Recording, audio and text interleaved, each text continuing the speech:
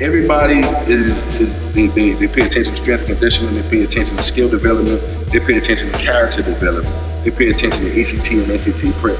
But who's paying attention to make sure all of this meeting up in the right place? Who's paying attention to make sure everything is lined up to, to where these kids are comfortable at the time of recruiting?